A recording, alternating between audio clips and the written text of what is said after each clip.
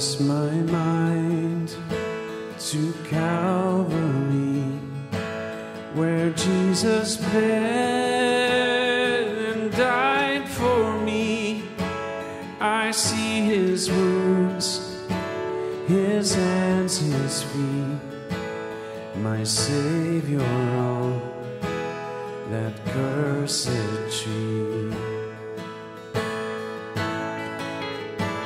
his body bound and drenched in tears. They laid him down in Joseph's tomb, the entrance sealed by heavy stone. Messiah.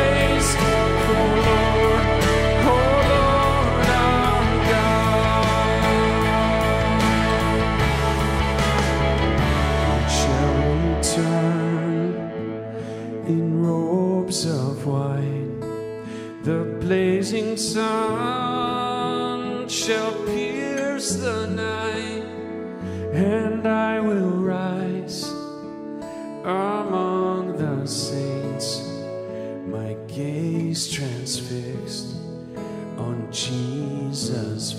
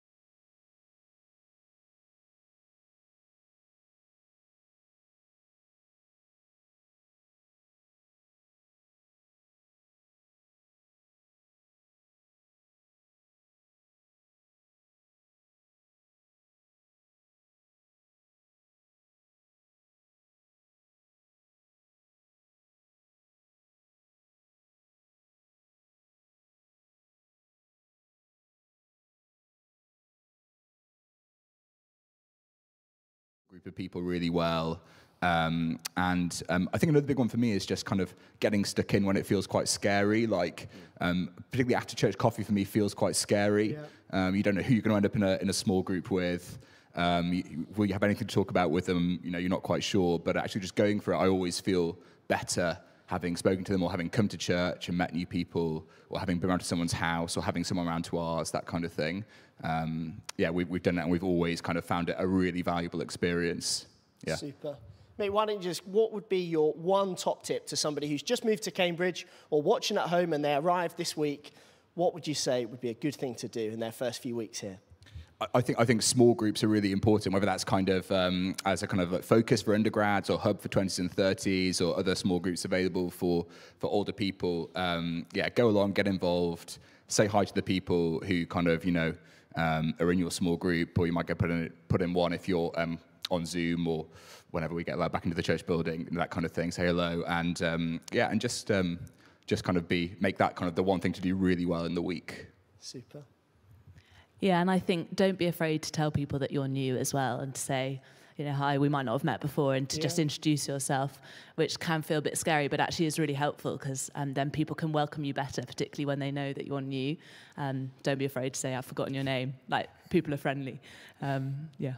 Good stuff. Well, guys, thank you so much uh, uh, for sharing those thoughts with us. Worth saying, so many people at Stag are new every year. Such a high turnover of folk, and that has its um, upsides and downsides. But it does mean that often we come to church and we think, oh, everyone must know each other. Or you join a small group and you think, oh, all these people know each other, and I'm the new person.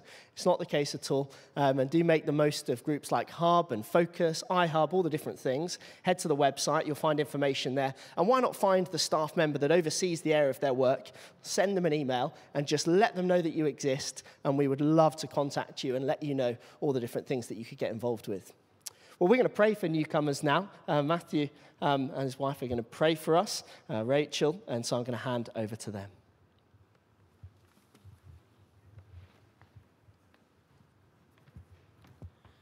We're now going to use the wonderful gift that God has given us that we can come to Him in prayer. God is our maker and He is the judge of all. So it's right that we come to Him in humility, confessing first that we have not obeyed His commandments and asking for His forgiveness. Let's take a moment to have a look at the words of the prayer of confession, which should come up on the screen and uh, which are also on the service sheet if you downloaded that at home. And then, if you're comfortable with it, uh, we'll say it together in a moment.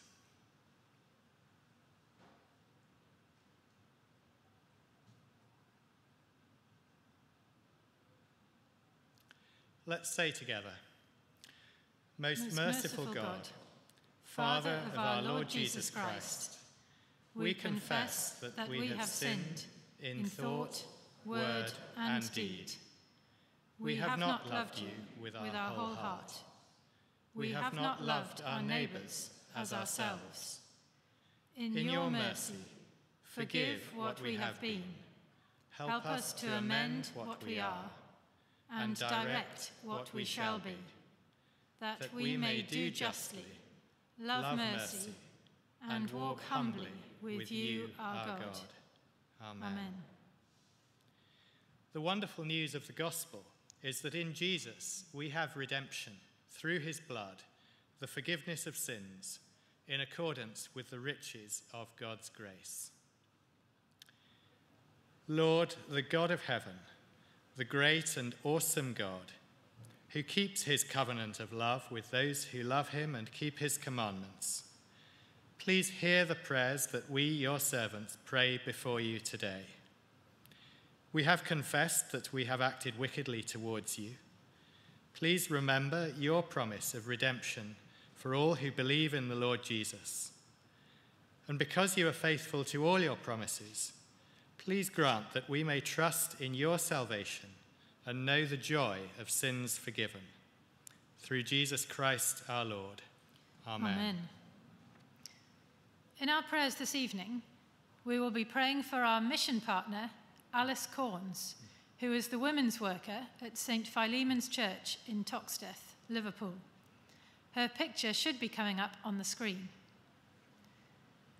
Alice works alongside women and children from many different nationalities and beliefs in one of Britain's most deprived communities. Let's continue in prayer. Lord God, our Heavenly Father, we lift up to you our sister Alice in Toxteth. Thank you for the enthusiasm you have given her to see others come to know you, and for the opportunities you have created for her to get alongside people and to share the gospel with them. She has particularly asked us to pray that you will help her to pray. And so we ask you, Father, please would you help Alice to be earnest and persistent in prayer. Help her, Lord, to delight in spending time with you and to have a steady conviction that unless you do the work, her labour is in vain. Please teach her to depend on you, and as she does so, please would you encourage her greatly with answered prayer and with fruitfulness both in her life and in the lives of the women she works with. Please would you show her how she can best be serving you during this current time of tightened restrictions on socialising in Liverpool. We also pray, Father, for Kathleen Spence, who is planning to return to her work abroad in Bible translation this week. Please keep her in safety and trusting firmly in you to provide for all her needs. Closer to home, we pray for those who have recently arrived in Cambridge or will do so shortly. It's an especially difficult time to be trying to settle in a new city, so we pray that you would be close to each one of them. Please would you help them to get to know others and to make new friends quickly. Please would those who know you be able to settle quickly in a church fellowship and please would you help us to be welcoming to all and show us how we can be loving in practical ways towards them. We pray especially for students arriving in Cambridge, no doubt with many anxieties and uncertainties. We ask that you would protect against major outbreaks of coronavirus among them, and that they would not be prevented from benefiting from their time here. Please help Christian students to trust in your sovereign care despite the uncertain circumstances. And please give them wisdom and love in supporting and encouraging others. We pray too for the wider coronavirus situation. Please, Father, would you give much wisdom to all our leaders, to the Prime Minister, his cabinet, the SAGE committee, local leaders, and all who are involved in making difficult decisions and trying to balance the different risks. Please would you open their eyes to see their own inadequacy and cause them to turn to you for wisdom, as your word tells us to. We pray for Christian members of Parliament that you would give them courage to speak openly of their trust in you and we earnestly pray, Father, that there would be no further restrictions imposed on Christians meeting together to worship you and to encourage each other. We thank you that we currently also have the freedom to meet in groups of up to six in our homes. And we pray that you would protect that freedom as well, and that those who are lonely and frustrated will be able to receive the comfort and company that they need. Have mercy on our nation, Lord, and indeed on our whole world. And please would you bring out of this a widespread repentance and returning to you through the Lord Jesus Christ. We remember your promise that you will build your church and the gates of hell will not prevail against it. Father, we cry to you that you would fulfill this promise. Lord, let your continual pity cleanse and defend your church. And because it cannot continue in safety without your aid, protect it by your help and goodness forever. Through Jesus Christ our Lord. Amen. Amen. We we've been reflecting in our services over the last couple of weeks on what is at the heart of the good news about Jesus. Um, that he is the judge of the whole world, and yet is also the one who amazingly brings us peace with God. And our next song helps us marvel at this fact that the Father would love us this much to send his Son for us.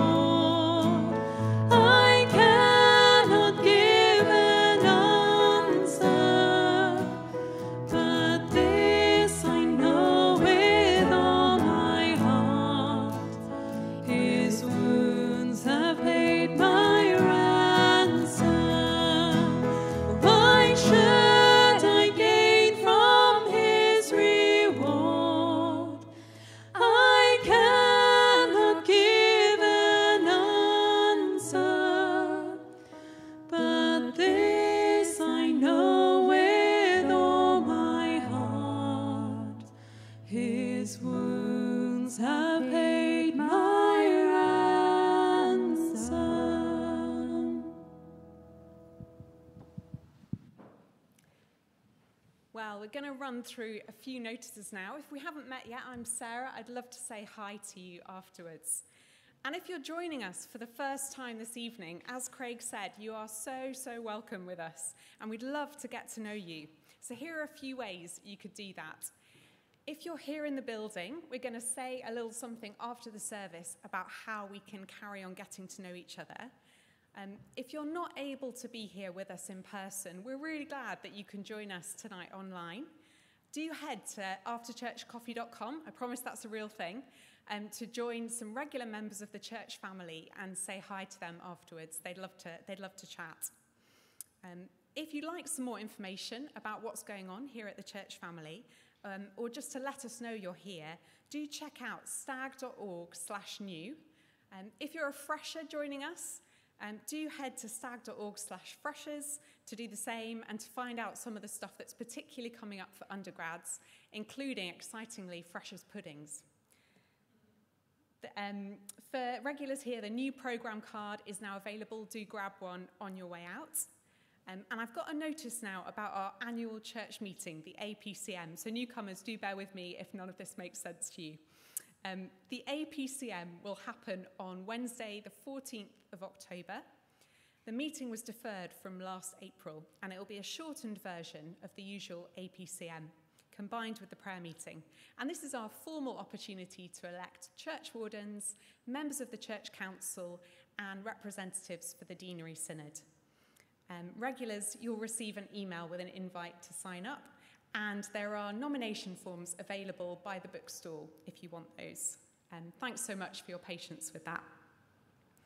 Well, as we've already mentioned this evening, one of the best ways for you to get plugged into um, church family life here is to be part of a small group um, small groups are where we meet to study the Bible together. And Hub, our group for 20s and 30s, has already kicked off the last few weeks online, but it's not too late to join in. So do head to stag.org slash new um, and you'll get the Zoom code if you sign up there. And Focus, our small group for students, will be starting in a few weeks' time, so watch this space.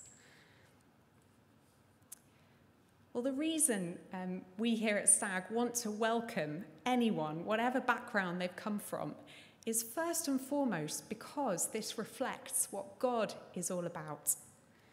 And we're going to turn now to read a bit of the Bible from Acts chapter 10 and hear more about what God says about who his message is for. And Henry's going to come and read that for us now. The reading this evening is from Acts chapter 10, verse 39 to 11, verse 18. Before we read, let us pray.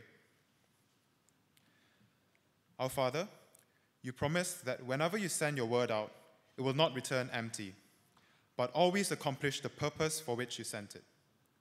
Please, as we hear your word read and applied, would you accomplish all your purposes in us?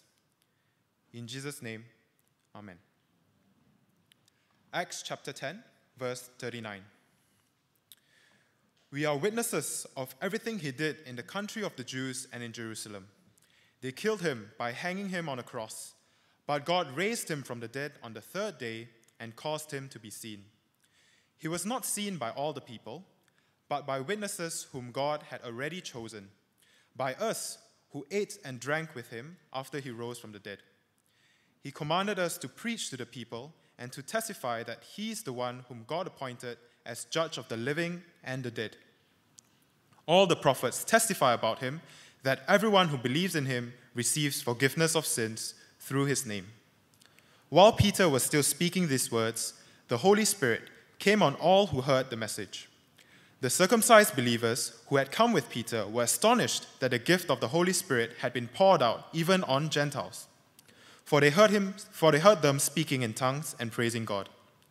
Then Peter said, Surely no one can stand in the way of their being baptized with water.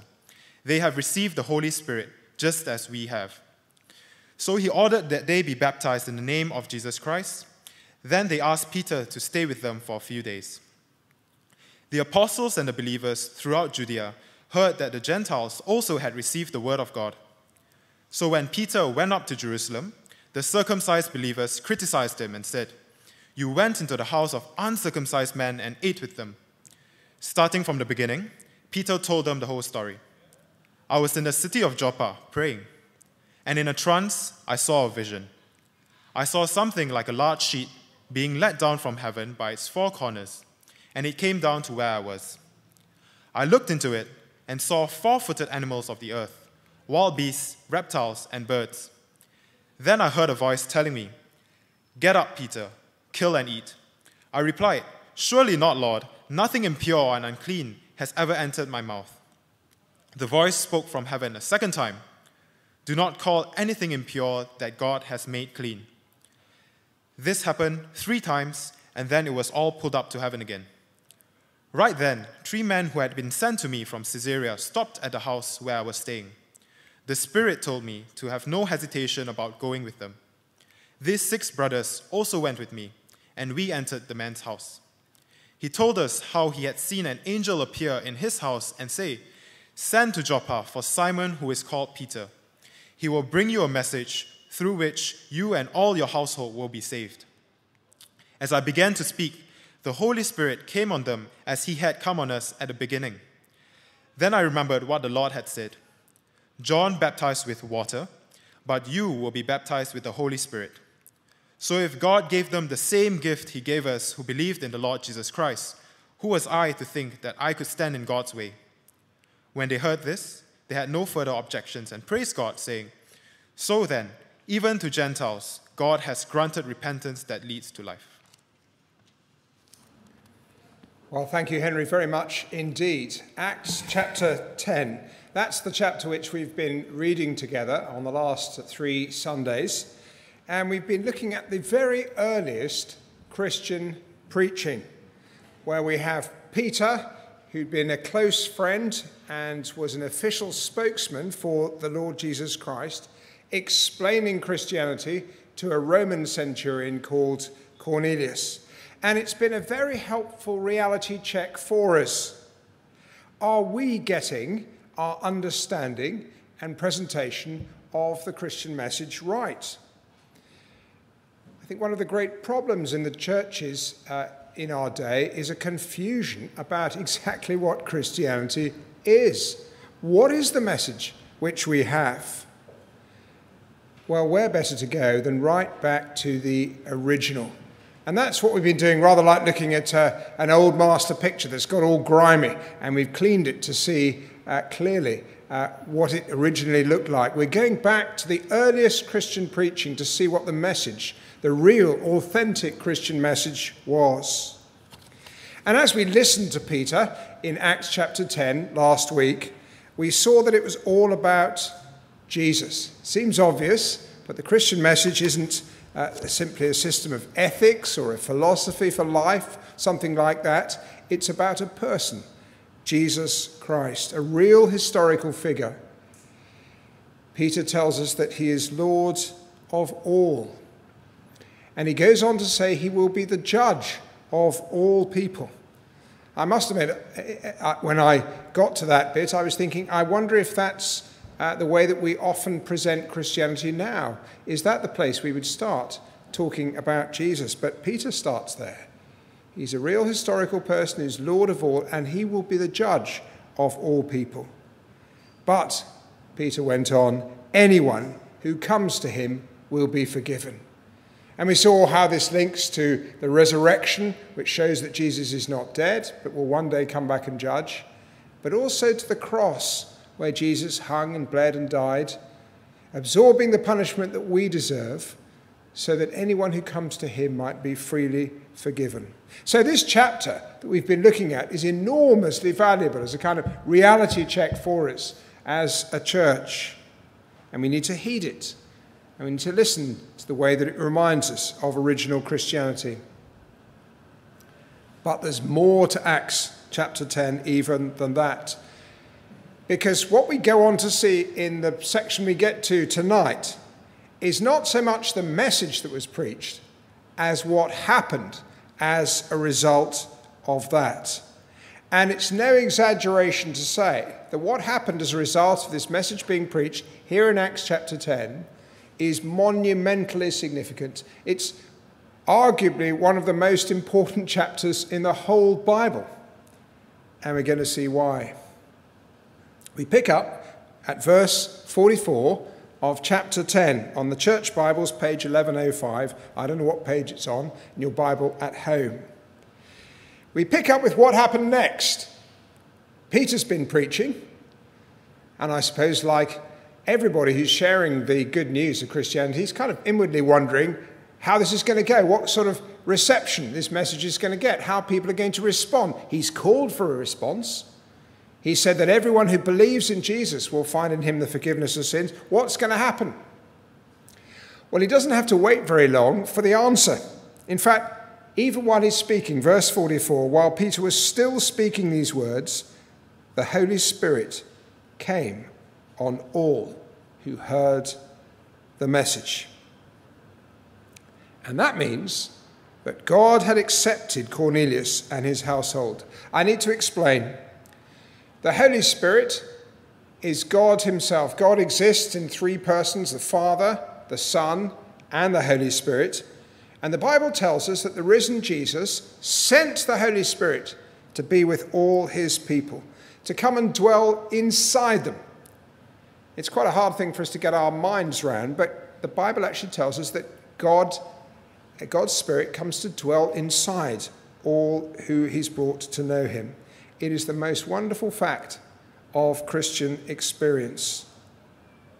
Actually, it's the Holy Spirit's arrival in a person's life which explains the, the kind of eye opening way that you begin to understand Christianity for the first time, particularly um, uh, uh, at, at that moment if you've been inquiring and then the Holy Spirit comes into your life and you desire to serve Jesus as Lord and to please Him and a lot more. This comes from God coming into us by His Holy Spirit.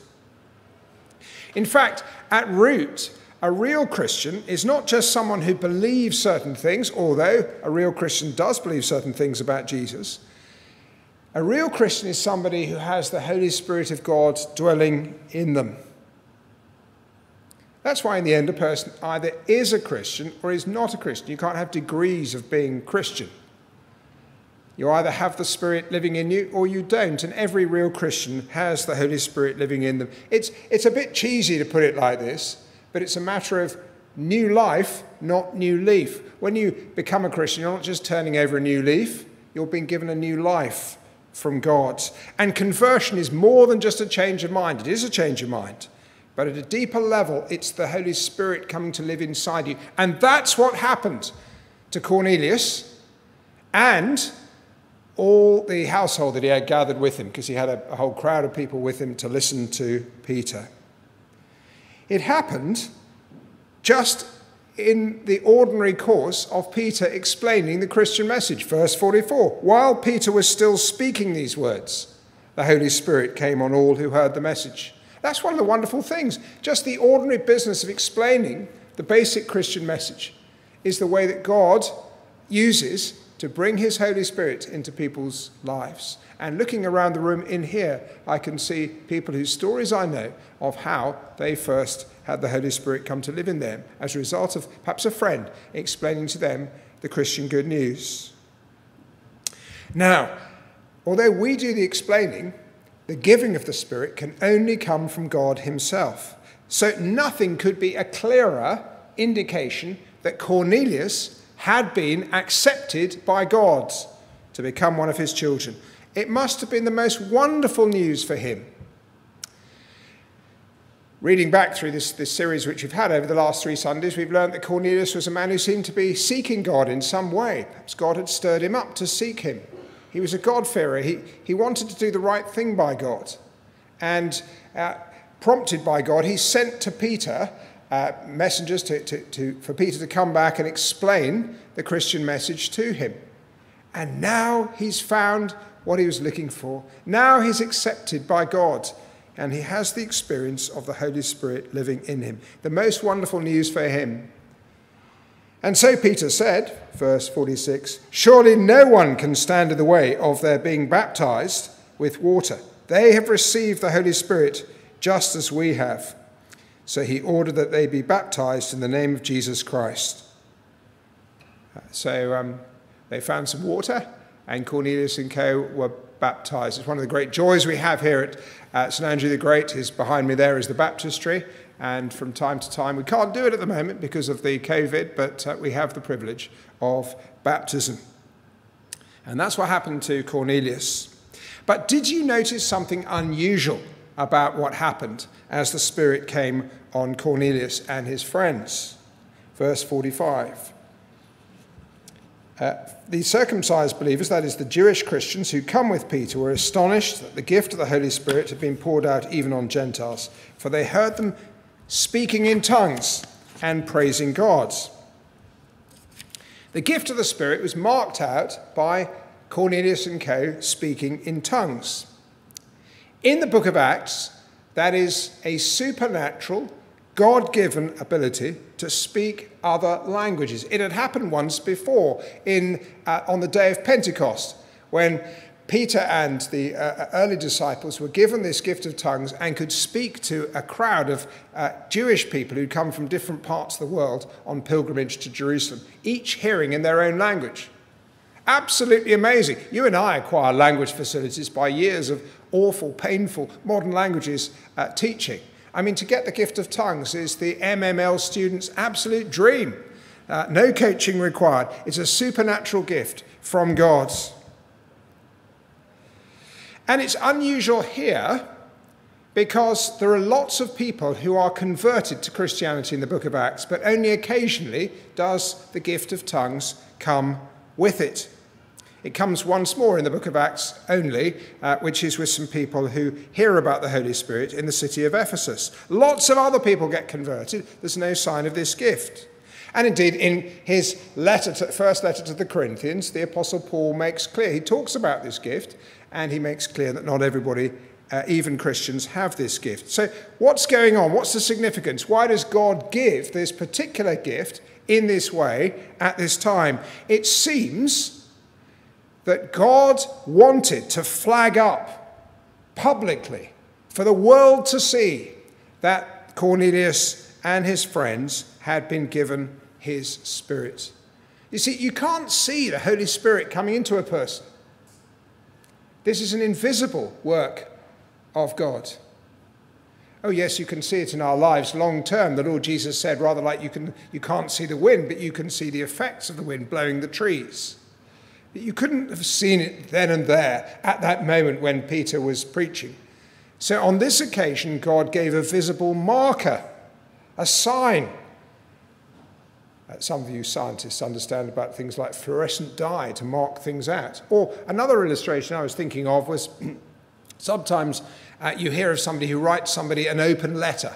I think Boris Johnson get lots, gets lots of people writing open letters. You could write a private letter to the Prime Minister, but you might want to write an open letter which also goes to the uh, newspaper and out on social media because you want the world to hear what you've said. Well, God is sending a kind of open letter to the world by giving this gift to Cornelius, saying to the world, I have given him and his fellow uh, household my Holy Spirit, and I want all of you to know it visibly and publicly. Because God has a very big point he wants the world to hear, which is this the good news of Jesus is for everyone, Gentiles as well as Jews. See, that's the background. Cornelius, who's the guy who is listening to Peter, this centurion, is not Jewish. He's a Gentile. You remember, Gentiles are all the people in the world who are not Jewish. Everybody in this room is either Jewish or Gentile. He had not grown up with the Hebrew Bible, what we call the Old Testament. He didn't have any of their any of the ethnic inheritance. He didn't share their customs, their food laws, their faith or, most importantly, the unique relationship that that nation had with God.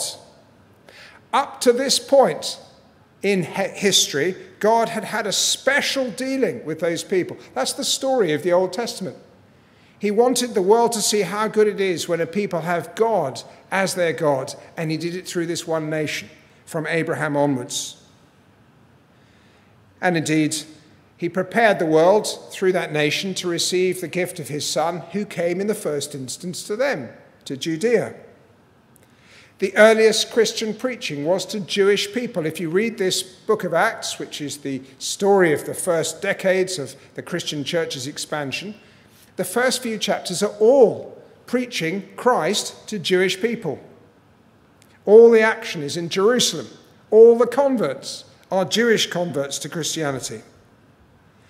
But now, there is a huge turning point in the history of the world, not just even the book of Acts, as Gentiles become Christians. That's the punchline, and it comes again and again in this passage. The circumcised believers, verse 45, who'd come with Peter, were astonished that the gift of the Holy Spirit had been poured out even on the Gentiles. That's the point. The good news of Jesus is for everyone, and God wanted the world to know that.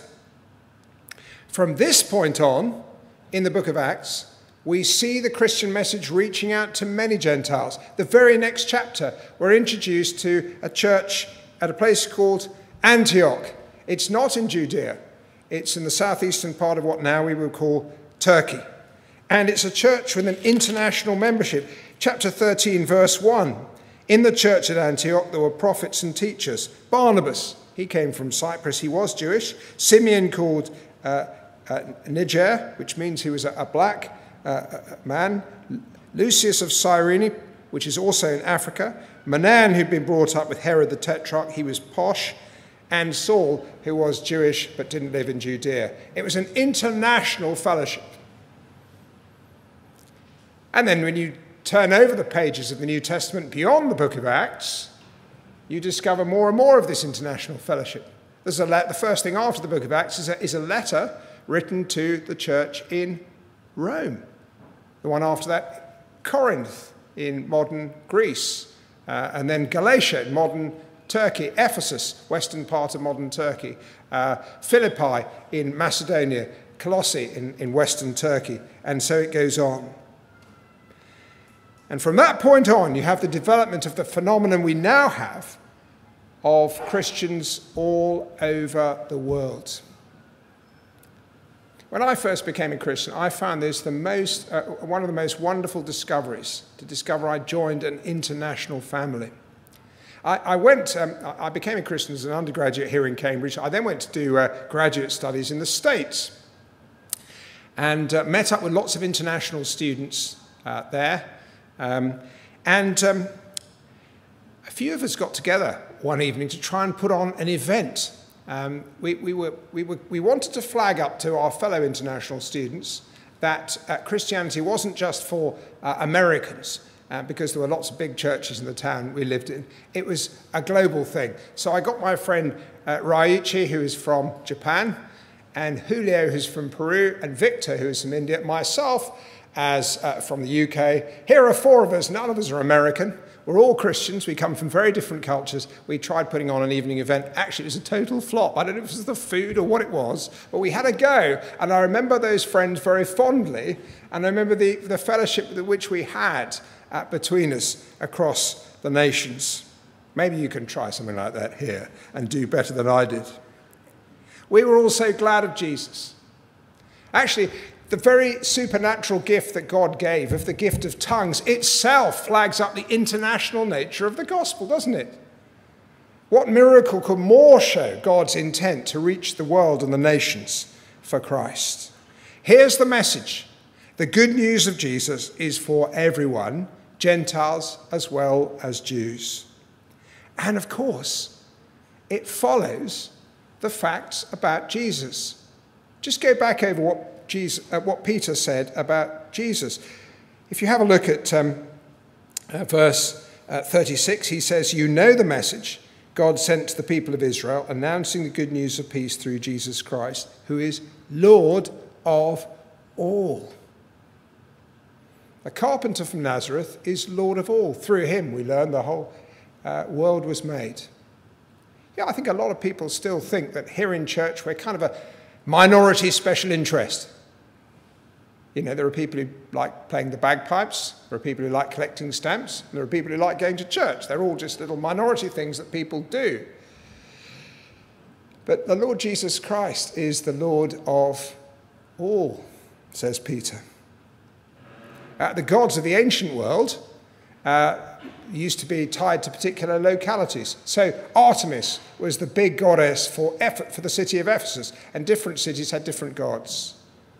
But Jesus was different from that. He broke all the boundaries. He's Lord of all. And then Peter goes on, he says, verse 42 He, that is Jesus, commanded us to preach to the people and to testify that He's the one whom God appointed as judge of the living and the dead. Living and the dead, that is all people. Everybody in this room is either living or dead. I presume most of you are living. So, uh, but everybody who's ever lived. is living or dead. It's, it's universal language again. The Lord Jesus is the judge of all. We will all, all humans will meet him on the last day. And then the universal language in verse 43 all the prophets testify about him that everyone who believes in him receives forgiveness of sins through his name. Only the judge can forgive, only the judge can let you off the charge. And here is the judge, as we saw last week, most amazingly, who bore the penalty himself that those who trust in him might be freely forgiven. And everyone, whoever you are, whatever your background, who believes in him receives forgiveness of sins through his name. Pagans, Jews, atheists, Muslims, Buddhists, Hindus, Confucians, Zoroastrians, anything you like, agnostics, rich or poor, one Lord and Saviour, Jesus. Uh, there was this great conference, wasn't there, uh, in the, the closing months of the Second World War, where Churchill and Roosevelt and Stalin met at Yalta in the Crimea to kind of, sort of parcel out different bits of Europe uh, for, for the post war settlement. You can have this bit, you can have this bit. Sometimes we think of, uh, it's easy to slip into thinking of the world a bit like that. You know, the uh, mu- Muslim people can have the 1040 window, and uh, the uh, East Asia belongs to Confucianism and Buddhism, South Asia to Hinduism, and so forth, and maybe a bit of Christianity in Europe. But it was never like that in the beginning. It's one world with one Lord, one judge, one Savior. And that means that whoever you are, whatever your background, you can come to Jesus for forgiveness. So there's a huge turning point here in the book of Acts as this great point is established. The gospel of the Lord Jesus Christ, the good news of the Lord Jesus Christ, is for everyone, Jew or Gentile. And what happens next in the book of Acts is a very good clue to the implication of this. Because it's, we don't have long to wait if we read through this book before we find journeys beginning. Paul, who's been converted, and his friend Barnabas set out from this uh, wonderful church in Antioch to uh, Cyprus and then on to Turkey uh, with, the, uh, with the good news. And then, in fact, there are three more journeys narrated in the book journeys to new places, foreign capitals and cities preaching the gospel of Jesus, not just to Jewish people, but to Gentile people, and leaving behind a trail of churches which have been planted. After this turning point, the great agenda for the church is to reach the world for Jesus. Just this week, we say goodbye as a church family to um, our dear friend uh, Kathleen Spence. Kathleen is a Bible translator in West Africa, and she's uh, been a member of this church for a long time. It's been lovely having her back in Cambridge for a bit. Uh, do pray for her. She heads back. What motivates her to go and do that work? Bringing the Word of God to people who don't have it in their own language and to use her considerable gifts in this very hard labor. It's because she knows there is one Lord, one Judge, one Saviour, and she wants everybody to hear about him and she wants to play her part in making that good news accessible to those who presently don't have it. But actually, this is something that all of us need to take on board. We really, really do. What's our part in this great global initiative which follows the fact that Jesus, uh, the good news about Jesus, is for everybody? You know, some uh, books of the Bible, some chapters uh, you, you, you, uh, it, it, can take a while before, in my um, understanding, the penny drops a bit about what's going on. But in this chapter, uh, the teaching is as plain as the nose on your face. Well, that's a poor expression because I can't see any noses at the moment. But uh, it's, very, it's very, very clear. You can't miss it. God makes the point with tremendous emphasis. He sends an angel to Cornelius to say, Go and send for Peter. He sends a vision to Peter of a sheep coming down from heaven saying, Don't call this food unclean, you should eat it. By implication, you should be willing to fraternize with the Gentiles. He gets Peter and Cornelius together. Peter starts to speak, and even while Peter's speaking, the Holy Spirit comes on Cornelius. There's this public, visible sign of the tongues. And then in chapter 11, as Henry was reading to us, um, the Jerusalem Christians, sort of headquarters, have a bit of an inquiry. What's going on with the gospel reaching out to all these uh, unwashed Gentiles?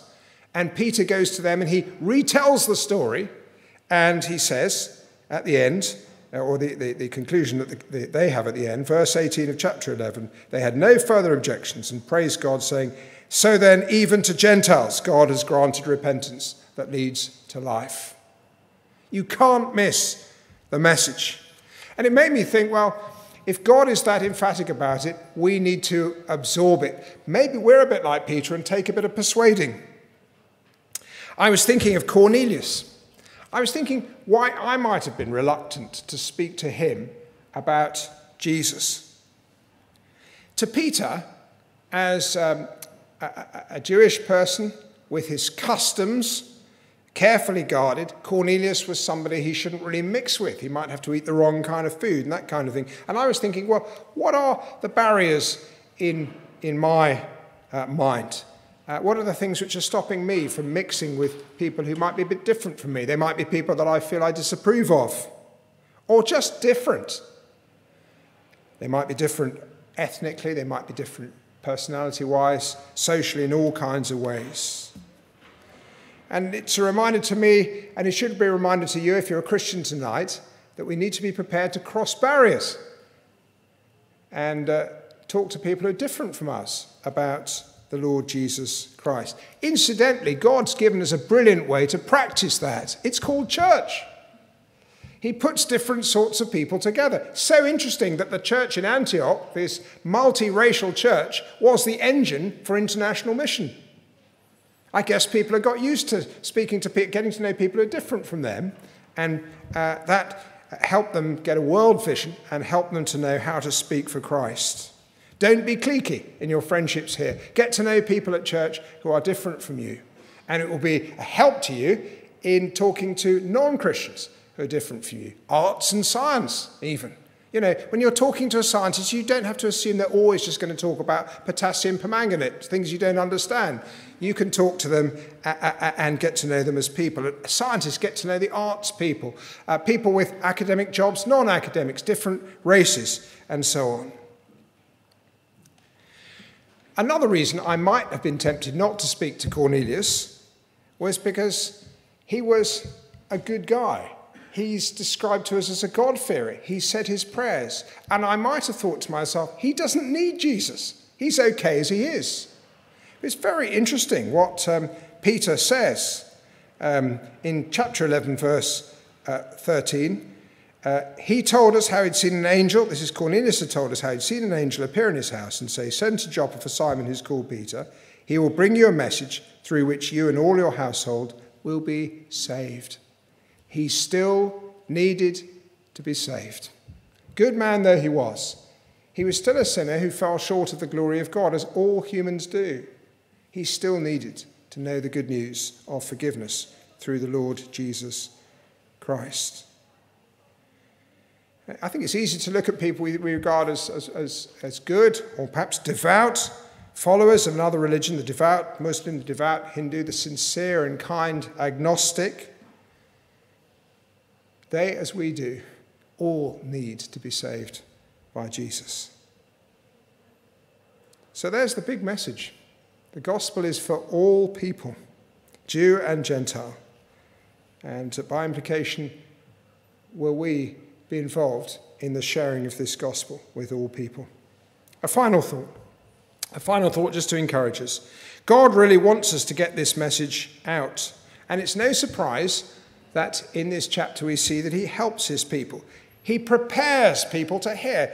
He prepared Cornelius. Now, he may not prepare people nowadays by an angel, but you will discover, I discover, although I'm, I'm feeble sometimes at speaking to people about uh, trusting in Christ, I, I still discover when I do sometimes that it seems if God has already prepared somebody for that conversation. I had that kind of conversation just a week or two ago.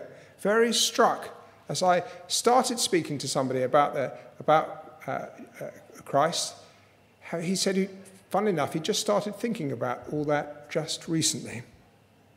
So I know that I should pray for that and I can speak, knowing that God is preparing people.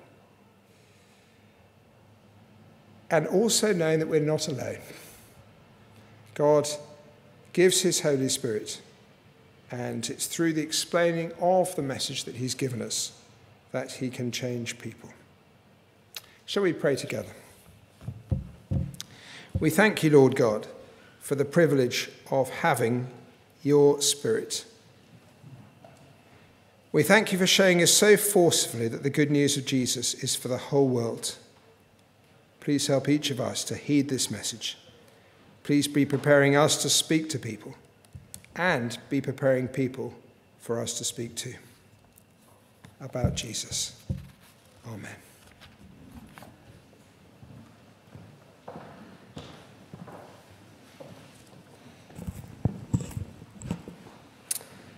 Well, as we've just heard, whoever we are, we can rejoice that Jesus is Lord and He can be our Saviour as well.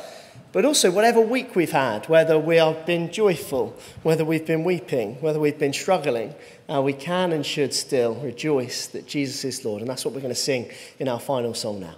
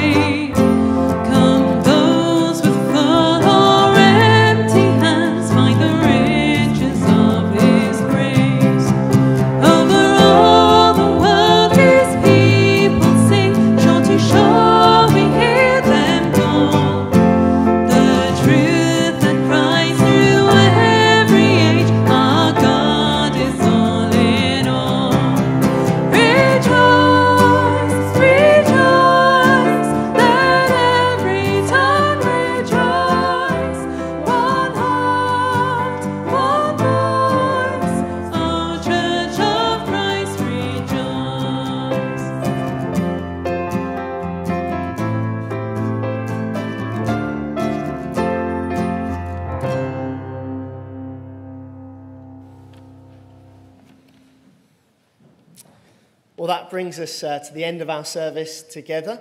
Um, just a few things to say before we head off. Uh, for you guys at home, I'm really sorry for the sound issues at the start. Uh, the interview, I think you missed all of that, but everyone around here was mouthing to me. It was one of the best interviews they've ever heard. So maybe we'll do the same again next week, and hopefully uh, we won't have those problems again. Sorry about that. Uh, if you are at home, uh, make up for that technical difficulty and join after church coffee and have a chat with some people there, especially with your new. Uh, remember all the things mentioned in the notices. Do let us know you're here. We'd love to welcome you properly. Uh, for those of us that are here, it's Chris Wiles' last service. Give us a wave, Chris. This is no good for you guys at home. Chris's last service. Maybe you know Chris. Send him a message. Go say goodbye. Chris is heading off to Bristol, and I'll let you uh, ask him about all of that. Well, I'm going to pray for us, and then we can head on our way.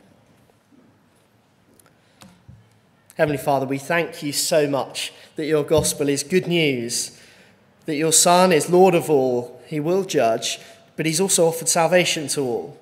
And we thank you that whoever we are, whatever our background is, whatever our experience of church is, whatever our lives have looked like up until this day, salvation can be found in Jesus. Help us all this week to think seriously about that, to respond well to that, and help us not to be reluctant people when we think of sharing the gospel with others. Father, pray that none of us would think that we don't need your Son. Pray that all of us would see what a joy it is to have salvation in him. Amen.